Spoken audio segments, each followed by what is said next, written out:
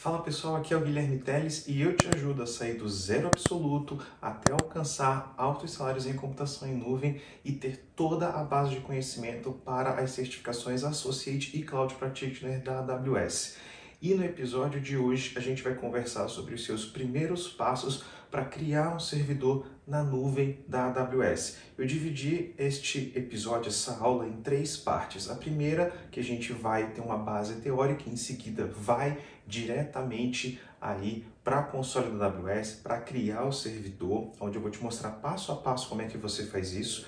Na segunda parte, que praticamente é a terceira parte, né, já que eu começo pela teórica e vou para a prática, eu vou te mostrar os principais problemas de inicialização, de reinicialização, o que, que pode acontecer e como você resolver na prática esses problemas. E o terceiro, a gente vai falar de um ponto cego que poucas pessoas se atentam quando criam uma instância que são os discos, os discos EBS, que são os discos que ficam colados lá na máquina, ou seja, o HD realmente desse servidor, e como é que é medido e os principais questões de performance que podem ter aí para a tua aplicação, para a tua empresa e para o teu estudo do dia a dia.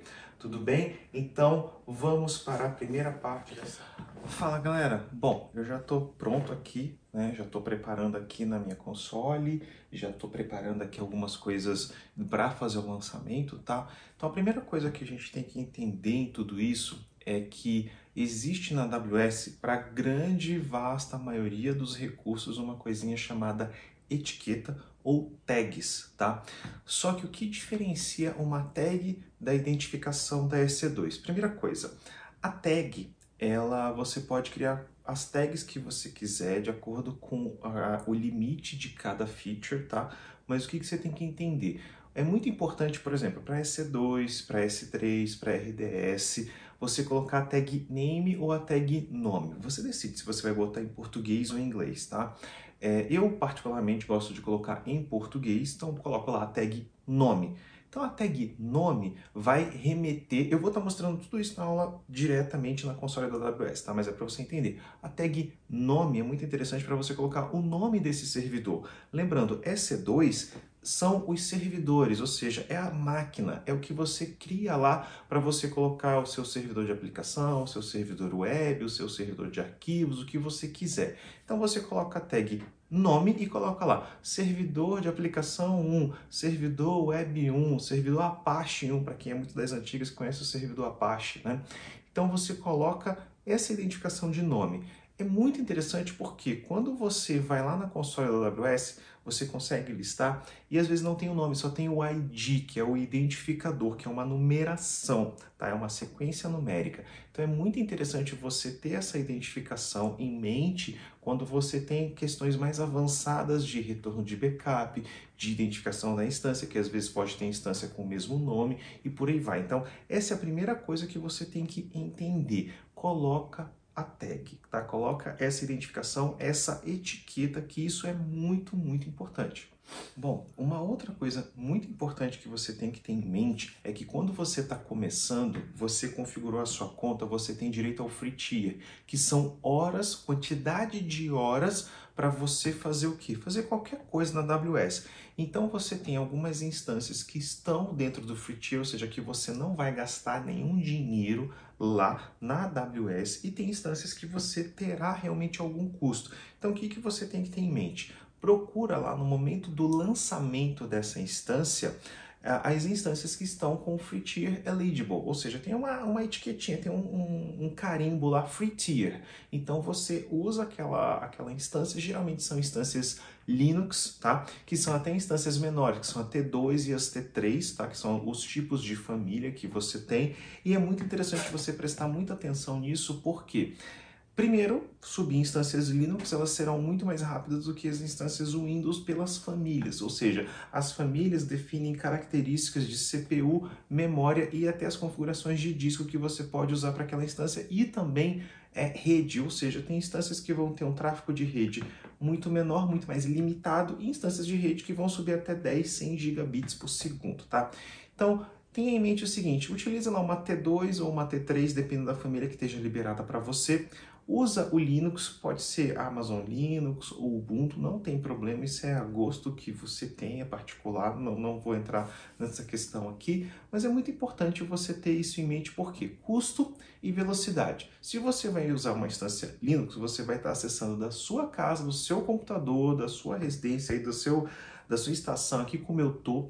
Então você tem que pensar em memória e o tráfego né, de rede. Quando você usa instâncias Windows, você vai estar utilizando o protocolo RDP, que tem um terminal gráfico, então tem muito mais recursos para estarem levantando para você ter acesso a isso. Quando você usa uma instância Linux, você usa praticamente o prompt de comando, que é aquela tela preta que você praticamente usa o bash, né, para você conectar, que você usa até a porta 22. Então assim, é muito mais veloz, é muito mais rápido, então é essa é a primeira coisa que você tem que ter em mente. Sobe uma instância Linux que é rápido de testar. Lógico, se você está numa empresa, que, ou então você realmente tem recurso, você já conhece um pouquinho mais de AWS, você pode usar as instâncias Windows. Eu estou te dizendo aqui os primeiros passos para quem está saindo do zero absoluto para começar a testar, tá bom? Tenha isso em mente.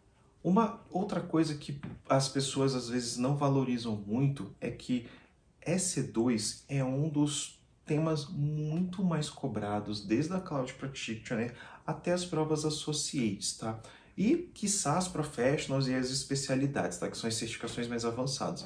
Mas focando no básico, se você conhece S2, se você sabe como lançar a S2, que é inicializar, que é criar a instância, os parâmetros que você utiliza, né? Qual a VPC que você vai colocar, qual a tag que você vai colocar, como é que são gerados os logs para essas instâncias que vão direto para os grupos de logs do CloudWatch, como é que você cria realmente as tags, como eu acabei de falar, tag nome, então você pode criar outras tags, por exemplo, ambiente, ambiente de desenvolvimento, ambiente de homologação, ambiente de produção e por aí vai, o dono né, daquela instância. Mas uma coisa muito importante, como todos os recursos na AWS e nas nuvens em geral, eles são é, cobrados ou bilados né, em inglês por tempo de utilização, é muito importante o seguinte: enquanto você está utilizando a sua instância, você deixa ela ligada. Enquanto você não está utilizando, desliga, dá um stop, vai lá em desligar, tá? Eu vou estar tá te mostrando tudo isso detalhadamente na console, mas é muito importante que você tenha essa parte teórica muito frisado, porque você pode até acabar excedendo o seu free tier sem, sem saber. Então é muito interessante que você tenha isso em mente. Uma outra coisa que você tem que estar muito atento quando você está criando a sua instância na AWS é a questão de deixar a instância pública ou não. Guilherme, é um problema? Quando você está em ambiente de testes, não, não é um problema, desde que você segmente e restrinja isso, né, o acesso, não para toda a internet, para todo mundo, restrinja o acesso para o seu IP tá? Para o IP da sua máquina, para o IP da sua casa. É, eu vou estar tá mostrando tudo isso, eu só estou te dando a base, porque quando a gente vai para console, você já vai estar tá com isso bem atento em mente. Então, assim, quando você cria a sua instância, restringe a porta que está utilizando, ou seja, porta 22, porta 3389, se for uma máquina Windows, para o seu IP, ou seja, somente o seu IP vai estar tá liberado acesso àquele servidor especificamente. Então não vai estar tá aquela coisa do tipo assim, ah, todo mundo tem acesso. Lógico, se tem um amigo que está trabalhando com você, uma outra pessoa, você libera os dois IPs, mas é muito importante você ter este controle, tá? Uma outra questão, aí dica de prova de EC2, tá? A métrica de memória, você tem que criar ela com alguns scripts. Por default, por padrão, a Amazon ela não monitora memória por padrão, ela vai, ela vai monitorar CPU, tráfego de rede, parâmetros de disco e alguns outros, mas memória não. Então, já uma dica de prova. Qual é uma das únicas métricas que não tem por padrão no CloudWatch para você ver no painel da EC2. Memória. Então, essa é a principal métrica, tá? Então, como é que você customiza isso? Tem alguns scripts que você deixa lá no Linux e no Windows rodando periodicamente, e aí ele manda essa informação de 5 em 5 minutos, que é o padrão do CloudWatch, ou de 1 um em 1 um minuto, ou as métricas de alta resolução que manda aí mais rapidamente, tá? Então, isso é uma coisa muito interessante para você ter em mente. Tem uma história que eu tenho que contar para vocês que aconteceu há uns dois, acho que já tem uns três anos que aconteceu essa história.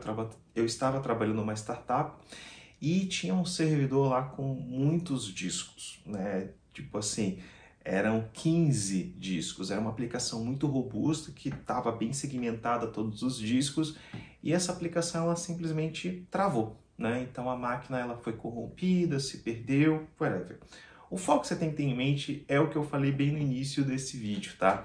Os identificadores, os IDs, tá? Os IDs da instância e os IDs dos discos. Quando você trabalha com Windows ou com Linux, esses identificadores eles são muito importantes para você saber quais são as unidades que tem. Por exemplo, quando a gente fala de Windows, a gente tem lá o C dois pontos, o D dois pontos, o E dois pontos, o F dois pontos, são as letras né, que você tem em cada disco. Quando a gente vai para as instâncias Linux, né, para o sistema operacional Linux, são os barra dev, STA, STP, HDA, HDP, depende aí da nomenclatura que você está utilizando, tá? e aí você tem que ter esses identificadores para montar. Então, quando você volta de um backup, tá? Isso é uma história muito interessante, um pouquinho avançado, mas é para você ter em mente que os fundamentos eles são muito importantes para você chegar lá no nível mais avançado. Eu não teria recuperado se eu não tivesse isso bem mapeado. Então, tudo que você estiver fazendo em nuvem, não pensa que a nuvem vai resolver tudo para você. Não, ela resolve. Muitas das coisas ela resolve, como backup automático, como encriptação, como alta escalabilidade, elasticidade, etc. Mas você tem que saber como configurar tudo isso, certo? E vamos lá, por que, que é tão importante aprender EC2? Desde o básico, como é que você lança, como é que você configura, como é que você monitora, como é que você faz essas integrações de repente com Bucket S3, com um banco de dados RDS, como é que você coloca realmente um load balancer na frente, botar várias instâncias. Que primeiro, a base, quando você está pensando em ir para a nuvem, é de você colocar um servidor lá, colocar uma aplicação. E embora você tenha hoje em dia muitos conceitos aí de Kubernetes, Docker, funções, microserviços, etc., você tem que entender que toda a base de arquitetura de computadores, é, isso para quem fez alguma faculdade de informática, você entende o seguinte, é CPU, memória, disco e o sistema operacional aí no meio, tá? Isso, essa arquitetura ela não muda. Então, assim, quando você tem é, no meio né, o, o, servidor, você tem que. É toda a base que você tem para colocar lá a sua aplicação. Então, desde os primórdios, tá? É, você sempre tem a base um servidor com sistema operacional. Seja ele Linux, seja ele Windows, seja o que for, tá? Ou em Unix como FreeBSD, etc. O foco aqui é o seguinte se você não entende EC2, a sua probabilidade de não ser aprovado numa certificação da AWS, de você não ter a base de conhecimento, é muito baixa. Se você não aprende EC2, você não tem chance de ser aprovado na prova, entendeu? Porque assim, Pensa, onde é que você vai colocar os seus servidores numa arquitetura padrão de computadores ou até numa arquitetura futura? Como é que você escala esses recursos do, do tipo de instância até a quantidade de, de, de instâncias que você pode ter? Então, se você não entende esse conceito, você não vai conseguir ser aprovado na prova. Sua chance é muito baixa, tá? E quando você fala também de EC2, você tem que entender o seguinte: é a base de todas as empresas. A maioria das empresas ainda não está pronta para usar Kubernetes, para usar Docker, para usar Functions. Eles até usam, mas assim, a grande base é, cara, qual é a sua quantidade de servidores? E o principal que você tem que entender também, como é que você configura realmente para performance? Qual é o tipo de instância? É mais focada em memória, é mais focada em redes, é mais focada em processamento? Quais são os dias que você usa muito mais essa instância para você estar tá configurando ela da maneira adequada. E o principal que muita gente esquece. A sua instância tem backup? Você realmente configurou o backup? Ou você realmente configurou as identificações? E até como eu falei no início, você usa esse servidor de segunda a sexta? Você usa essa aplicação no final de semana. Se você não usa essa aplicação no final de semana, configura ela para ser desligada. Porque se você deixa ela ligada no final de semana, ninguém está usando, você está gastando dinheiro à toa. É como deixar o carro ligado sem ninguém estar tá andando. Faz sentido? Não, não faz sentido. Então, desliga esse servidor final de semana, deixa ele ligado nas horas úteis do dia, ou até liga um pouquinho antes, uma hora antes, uma hora depois. Se você vai para um ambiente, por exemplo, de desenvolvimento. Faz sentido você deixar ligado essas instâncias o dia inteiro, 24 horas? Não. liga essas instâncias no período que a galera vai estar utilizando para desenvolvimento. O ambiente de desenvolvimento geralmente ele está lá a Deus dará, né? Para a pessoa brincar, para a pessoa testar algumas coisas, para a pessoa eventualmente fazer alguns testes. Então, assim, se você deixa o seu ambiente de desenvolvimento ligado o tempo todo a tua EC2 lá, você está gastando muito dinheiro. Agora, um outro ponto muito importante é, poxa, por que, que a gente vai falar agora, né, nesse tema da questão de possíveis problemas que as EC2 podem ter ao ser ligada, a ser é, desligada ou a ser reiniciada?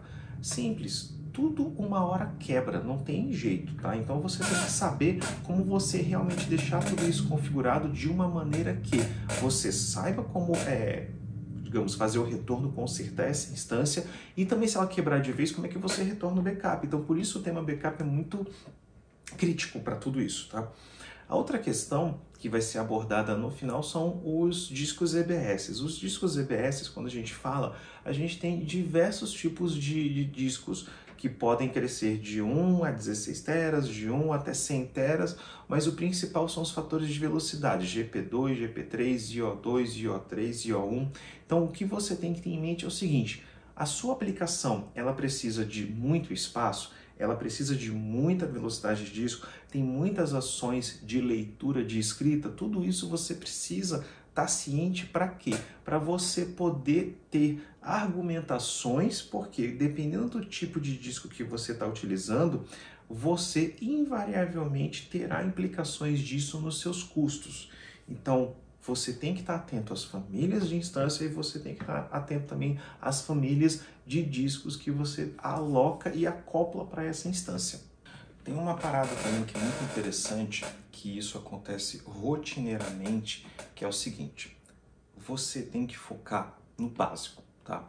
Não queira de cara quando você está criando uma instância, como eu vou te mostrar neste passo a passo, você sair criando várias instâncias com várias configurações diferentes, é, aberta para vários IPs, é, vai, o que, que você pode também fazer? Tá encriptando volumes de cara com KMS, que quando você vai criar agora a instância, você tem um universo de possibilidades. Isso com qualquer recurso da AWS. Então, o que, que eu te recomendo? Foca uma, duas, três, quatro vezes nesse passo a passo, tá? Até no e-book que eu tenho lá no site, tem muita coisa ali é, para Cloud Practitioner e para arquiteto AWS e até alguns artigos que eu coloco até lá no canal do YouTube, você tem muita informação, tá? Mas eu, se você olhar o meu conteúdo, eu sempre foco no básico, ou seja, eu vou te trazer do zero até as certificações Cloud Practitioner e Associate. A de arquiteto, SysOps e desenvolvedor, tá? Então você engloba aí quatro com todo esse conhecimento. Se você começa a mudar muito aí, muito além, não é o foco que você vai ter para certificação, mas é um foco que você vai ter para mercado de trabalho, para laboratório. Então tenha muito bem definido isso que você vai estar tá fazendo, tá? Porque se você começa a fazer a famosa viagem, né? Aquela aula de física do segundo grau, de química, de biologia, que você olha e fala, meu Deus, tô me perdendo. Você volta, aterriza e fica ali focado, porque senão você pode ter um prejuízo de confundir. A certificação, ela é muito pragmática no sentido de que ela vai te cobrar fundamentos, ela vai te cobrar conceitos, ela vai te cobrar até alguns cenários por exemplo, de interligação. Como é que você usa o Security Group para ir de uma instância EC2 para um banco de dados RDS? Como é que você usa muito, por exemplo, uma role, né, que são um conjunto de permissões do IAM para ter permissão para a tua instância EC2 acessar um bucket S3 ela vai te cobrar, por exemplo, se o teu load balancer ele está realmente exposto para a internet ou é um load balancer interno e qual é o número de instâncias que o teu outscaling ele vai estar tá utilizando. Então são temas que você tem que ter o conceito que te ajudam muito para o mercado de trabalho, toda essa base, toda essa fundação, mas você tem que ter em mente o seguinte: se você começa a fazer testes desorientados ou muito é, divergentes, você acaba é, fugindo do tema que é ter todo o conhecimento, toda a base para as instâncias EC2. Então, assim, essa é a dica que eu te dou para você não se perder, especialmente se você está começando. Preste muita atenção nisso. Fala pessoal, estamos aqui na console né, da, da AWS, tá? Apenas lembrando, eu estou na minha conta pessoal, então sempre observe quando vocês estiverem na conta de vocês sobre o free tier. Estou usando o norte da Virgínia, que eu considero, é, até pelas últimas é, estatísticas que a gente tem, é a região onde a AWS lança sempre os serviços primeiro, tá? E também é onde a gente tem serviços mais baratos, ok? Bom, então, é, sem mais delongas, vamos lá. Serviços, Compute EC2. Então a gente clica aqui.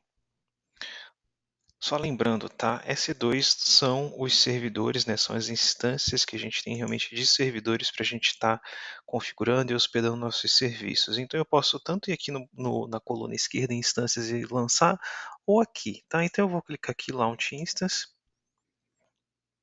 E aqui a gente é apresentado com vários, né, várias imagens, né, vários templates que a gente tem, desde Linux, é, Amazon Linux, Red Hat Linux, SUSE Linux, Ubuntu Linux, né, servidores Windows aqui para baixo, tá? Então a gente tem uma infinidade de imagens prontas que a gente pode estar tá, é, utilizando tá, para a gente estar tá, é, subindo o nosso primeiro servidor. A gente também tem aqui, olha, imagens do próprio marketplace, ou seja, imagens aí de produtos é, pré-configurados, tá bom? Mas para fins da sala a gente vai pegar aqui um Amazon Linux, Tá, aqui a gente tem as diversas famílias com as configurações né, de CPU, de memória, de armazenamento, é questão de rede, se suporta no IPv6, então eu vou aqui, ó, free tier, tá? Que para a gente ter dentro aí das horas que a gente tem anuais, então eu vou pegar o free tier, vou para o detalhamento da instância, então assim, a gente pode colocar várias instâncias para estar tá subindo, eu posso, querendo ou não, é, setar um preço se eu fosse querer colocar uma instância é, spot, né, que são os valores é, reservados. É, eu posso selecionar aqui a VPC que eu poderia estar utilizando, a subnet aqui. Tá? É, eu posso colocar se eu preciso de um endereçamento IP público ou não, eu vou colocar é, o placement group que a gente vai ver em, em outras aulas, reserva de capacidade, role de IAM é muito útil para a gente não estar tá, é, chumbando, né, colocando, configurando manualmente access keys ou secret keys e dentre outras tantas configurações que a gente tem. Tenancy é o hardware, se a gente quiser um hardware dedicado, né, um host dedicado. O CloudWatch Monitoring, né, a gente pode colocar aqui o default para cair para um minuto, né? o default é de 5 minutos, e é, T2 e T3 Unlimited, que é um, um burst aí de, de, CPU, né, para a gente tá, tá rodando. Bom, então, é, feito isso, a gente também pode colocar aqui, né, o user data, né, que são os servidores, os scripts Bootstrap. Eu tenho aqui pronto para subir um servidor Apache, só para fins didáticos. Uh, vamos aqui para a configuração de disco, então eu posso colocar né, o Provisioned EOPS, o magnético, então para o disco de root você só tem essas três opções, que é o General Purpose, que é o GP2, Provisioned IOPS, que é o IO1, ou magnético, tá? Se a gente fosse adicionar outro, a gente vê que tem outras opções aqui, né? Ele adiciona o Throughput Optimized e o Code é, HDD. Só que a gente não vai estar utilizando isso agora, tá? Então vou tirar. E eu já poderia também nascer encriptado, tudo bem? Com KMS aqui. Também não vou estar utilizando isso nesse momento. Adicionar tag, então eu posso adicionar aqui uma tag name, então vamos lá, web server 01, tá? Security group, tá? Que são os grupos de segurança para a gente falar é, dentro e fora da nossa VPC. A gente vai estar selecionando aqui o é, SG Web DMZ, que eu já tenho a porta 2280 aberta e vou continuar aqui. Bom, aqui a gente tem o um resumo né, que a gente tem da, da própria instância e eu vou fazer um launch. Eu já tenho essa chave aqui, certifiquem que a chave que vocês vão criar vocês já tenham, ok? Não baixem uma nova e ele vai estar tá lançando essa instância, tá? Aqui ó, tem o ID da instância. Esse ID é muito interessante quando a gente tem muitas instâncias para a gente não se perder do que a gente está subindo ou não tá bom? Então vamos esperar que ela suba para a gente estar tá, é, validando se o servidor é, web está é, tá bem configurado. Bom, pessoal, é, eu acho que já deu tempo suficiente, tá? Bom, para a gente acessar e testar se realmente funcionou, a gente vem aqui, ó, IPv4, ou pode ser pelo nome DNS, tá? Eu vou pegar o nome DNS, copiar. Então esse íconezinho ele também facilita, tá? Então eu vou abrir aqui uma nova, eu vou dar Enter. Então tá aqui. A gente subiu e tá validado, né? Uh, o nosso servidor web que a gente configurou. Então esse é o processo que a gente subiu a nossa instância EC2. Uma coisa interessante aqui para fins de monitoramento, tá? Das métricas do CloudWatch, então aqui estão todas as métricas default, são métricas que ficam de 5 em 5 minutos. Então, como a gente acabou de lançar a instância, ainda não tem muita métrica, mas com o passar do tempo, tá? A gente tem aqui várias métricas que a gente já pode estar tá observando. Então vamos lá. Quais são os problemas mais comuns que as EC2 podem é, falhar ao iniciar? O primeiro erro é o Instance Limit Exceeded. Então o nome ele sugere bem o que, que é. Você atingiu o número é, de instâncias que você pode iniciar em uma região. A AWS ela define limites padrões né, para o número de instâncias que você pode executar por, por região. Então, o número é 20 atualmente por padrão. Você pode solicitar aumento por região, abrindo só um chamadinho no suporte, tá? Eles vão liberar, não tem problema nenhum. E só um ponto que é muito importante a gente saber, que esse limite não existe apenas para EC2, existe para Bucket S3, existe para banco de dados RDS, por aí vai. E o outro erro que a gente tem é o insuficiente instance capacity, ou seja, atualmente, né, no momento que você tiver esse erro, a AWS ela não possui capacidade on-demand disponível o suficiente para atender a sua solicitação. Eu, particularmente, nunca vi esse erro acontecer, tá? nunca aconteceu comigo. Então, isso quer dizer que a AWS está sem capacidade para te atender. Tá? É, isso é bom registrar como erro, mas assim, é, a AWS está sempre continuamente evoluindo todas as questões que ela tem para estar tá atendendo o seu público, para estar tá atendendo os seus clientes. Então é um erro muito improvável de acontecer. Se acontecer, aguarda alguns minutos e tenta novamente. Solicita menos instâncias, que você pode lançar aí 5, 10, 15 ao mesmo tempo, então solicita menos. Solicita um tipo de instância diferente. Tentar comprar instâncias reservadas ou enviar uma nova solicitação sem especificar a zona de disponibilidade. E para a gente consolidar o entendimento, a gente tem então basicamente dois erros. O instance limit exceed, ou seja, você excedeu o limite padrão para o número de instâncias que você pode iniciar numa é, região específica, e o insuficiente instance capacity, que é falta de capacidade da própria AWS para atender sua solicitação. Bom, então vamos lá. O que é o AWS EBS? O AWS EBS, que é o Elastic Block Store, permite criar volumes de armazenamento e anexá-los à sua instância EC2. São discos virtuais para suas máquinas virtuais.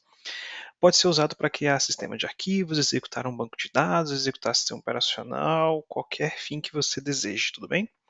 Bom, vamos nos concentrar aqui no armazenamento suportado por SSD, usado para sistemas operacionais e bancos de dados que podem exigir muito input-output, muito I/O. Então, o que, que é um IOPS? Né? Os IOPS eles podem ser, é, podem ter dois tipos diferentes de SSD. Né? Tem o GP2, que é o General Purpose, né, uso comum, que é muito utilizado para volumes de boot, e o IO1, que é o Provisioned IOPS, que é para uso intensivo de I/O, por exemplo, é, banco de dados NoSQL, banco de dados relacionais, workloads sensíveis à latência, etc é, IOPS, né, que é Input Output Operations por Second, né, é, entrada e saída, é, é, operações de entrada e saída por segundo. Ele é usado como benchmark de performance para volumes SSD. A capacidade de IOPS é dependente do tamanho de volume. Então a gente tem os volumes GP2, que tem um mínimo de 100 IOPS, né? então 3 IOPS por giga até o máximo de 16 mil IOPS, e a gente tem aí o volume IO1, que é de mínimo de 50 IOPS aí por giga até o máximo de 64 mil IOPS. E quando a gente atinge o limite de IOPS, né, o que acontece se você estiver usando o GP2 e sua carga de trabalho exceder o limite de IOPS do volume GP2 que você provisionou? Bom, você vai começar a receber solicitações de entrada e saída na sua fila, então começa a ter lentidão.